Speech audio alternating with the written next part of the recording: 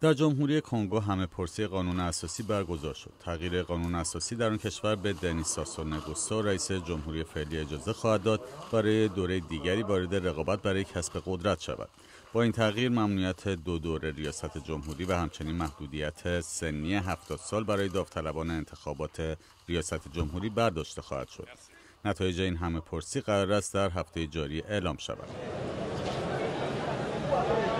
در تانزانیا مردم برای انتخاب رئیس جمهوری و همچنین انتخابات پارلمانی رأی دادند. به گزارش خبرنگار صدای آمریکا، حوزه های رأیگیری در روز یکشنبه در دارالسلام پایتخت آرام بود. حزب قدیمی حاکم در کنگو موسوم به حزب انقلاب یا CCM برای سرعت بخشیدن به توسعه در آن کشور و مقابله با نرخ فزاینده فقر تحت فشار است. انتظار می رود برنده انتخابات ریاست جمهوری در سه روز آینده اعلام بشود.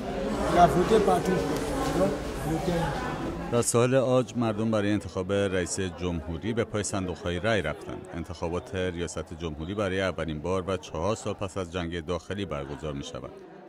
آلسان واتارا برای یک دوره دیگر ریاست جمهوری با پاسکال افی انگوسان رقابت می کند.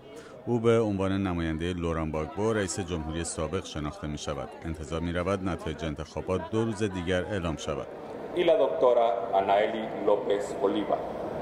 نتایج اولیه انتخابات ریاست جمهوری در گواتمالا که روز یکشنبه برگزار شد نشان می‌دهد جیمی مورالس کمدین با کسب نزدیک به 74 درصد آرا از رقیب خود خانم سندرا تورس پیشی گرفته است.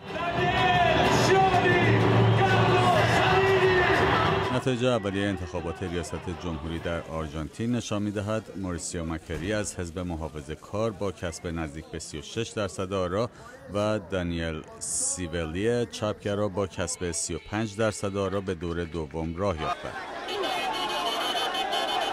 مردم هایتی برای انتخاب رئیس جمهوری خود به پای صندوقهای رای رفتند.